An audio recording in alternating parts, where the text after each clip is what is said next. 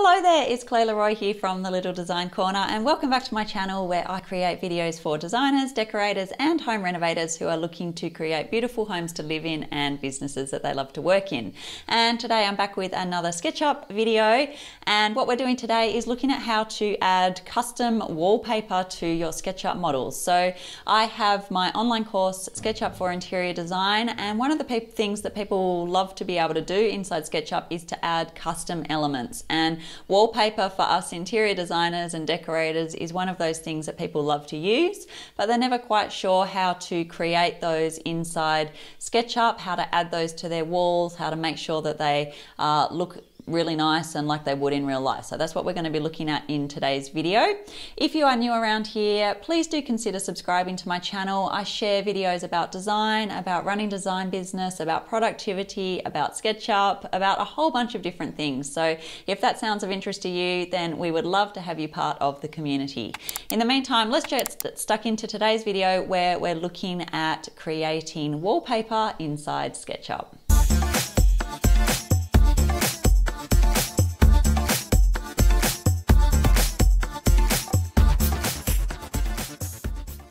Okay, so what I have done here is just mock up a quick uh, bedroom and it's got a couple of walls and what we're going to do is actually put some wallpaper onto these walls here. Now it sounds simpler than it is just to get it really looking good. So that's what I wanted to talk about in this video. So the most important thing is actually getting the right image to bring in for your wallpaper. So I've just brought a couple of examples up on um, Google here. And what you want to try and do from your wallpaper supplier is get access to a tessellated, seamless pattern of your wallpaper. So you, most places should be able to supply this, but some of them don't have the actual tessellated version, which basically means that the pattern's going to meet up so that, like you see in this image here, uh, how can I stop it moving? But you can basically see that the when the wallpaper's put up, it doesn't has any seams and the pattern continues without breaking up. So that's what you want to look for in terms of finding the original image to save to your, wherever you save your textures and then to import those into your SketchUp file. So that's the first thing. And what I've done is actually bring in this particular image here, which actually isn't tessellated. So you'll see what happens when you bring in an image that's not quite right versus this one, which I found, which is a seamless texture that you'd purchase and then you could have access to. It's got a little um, watermark on it, but we're just going to use that as an example just to show you the difference between the two.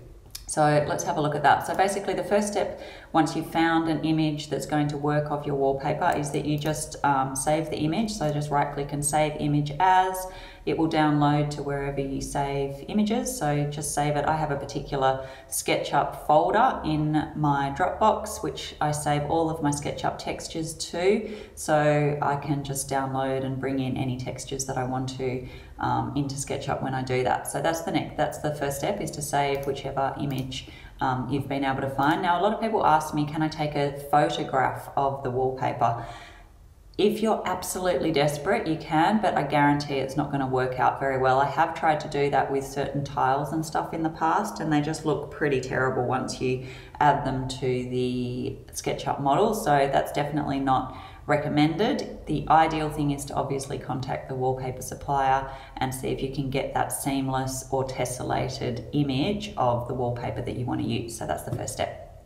Okay, so now that we've got it saved to our um, to our wherever, our SketchUp textures folder or wherever you have it saved. The next thing is to actually bring it into your, um, your textures area in your SketchUp file. And as you can see, I've got the two uh, images that we just saved to my area brought in already. So the way that you do that is you come down here and you go new texture and then it will bring up wherever you find your textures. So I have them in my folder here, uh, hang on, interior, yep, in there, and then SketchUp textures. And as you can see, I've got hundreds of textures all saved from over the years of working in SketchUp and I would have saved them into there and I can just bring them into um, into my designated folder inside my color palette here. So that's the next thing.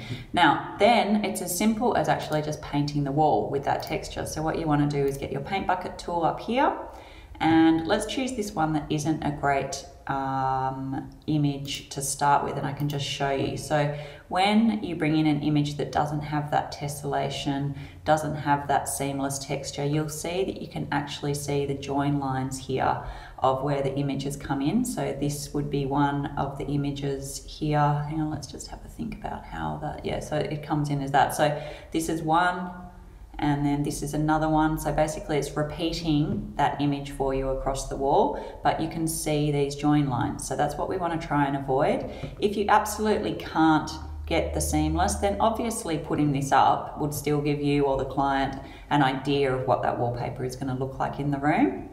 It's just that it doesn't look seamless. So let me show you with this one that is seamless the difference and I'll pop that on this wall over here. So again, grab your paint bucket and let's paint that one. And as you can see here, with this particular image that is seamless, we have none of these join lines. So we can't see the join lines in between where the image has repeated. So the image is repeating in this just in the same way as it is here. It's just that because it is that seamless texture, that tessellated pattern, it's not repeating and we can't see the repeat. So that's the difference between getting hold of a really good image that is seamless of your wallpaper. But as I said, if this is all you can get hold of with the particular wallpaper that you want to use, obviously you can still tell what it's going to look like on the wall. So it's definitely still um, worth using and bringing in, but if you can get hold of that seamless one, it's going to be a whole lot better. Okay, and then the next thing and the final thing I guess with it is that if you do want to change the size, so this might not be the actual scale of the wallpaper itself, so what you would do then is to actually just right click and you can come down to texture and you can go position texture and that will bring up your options here for how to reposition it and you can um, you know shift that around on the wall as you would like um, and then use this green one here um, to just zoom in and out.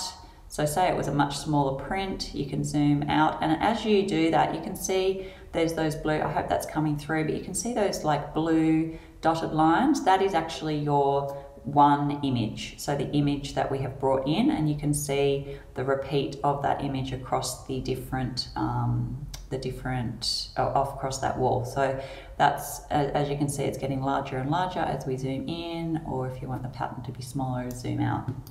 And then so same on this wall if we wanted to zoom that in and out just use this green one here and this also rotates it too. So this is a bit of a fiddly button to get used to. It can because it tilts onto angles as well. You want to try and keep that obviously straight on the axis because you want it to be straight on your wall obviously. But again you can zoom in and out and you can see those dotted blue lines that are highlighting the actual original image that we brought in.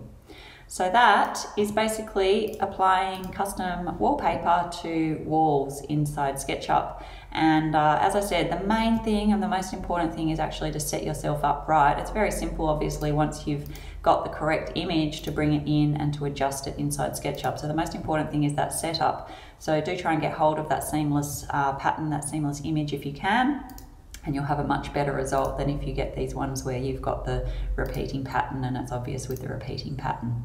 So I hope that helps and gives you some tips for how to do that yourself. You can do this with any sort of wall texture, so you could do it with um, an image of you know, different kinds of wall renderings or wall finishes. So it's not only wallpaper that this works with, this exact process is the same for any kind of uh, wall finish that you might want to apply to your walls inside SketchUp, any paint or anything like that. So it's all to do with the setup of this original image in terms of how it's going to look on your walls in your model eventually.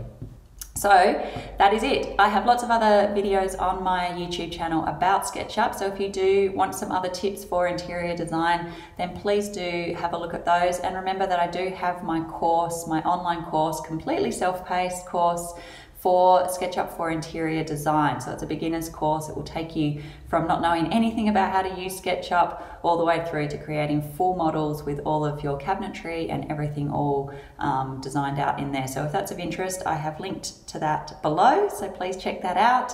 Otherwise, please consider subscribing to the channel if these videos are helpful for you. And if not, then I will catch you in the next video and enjoy the rest of your day. Bye for now.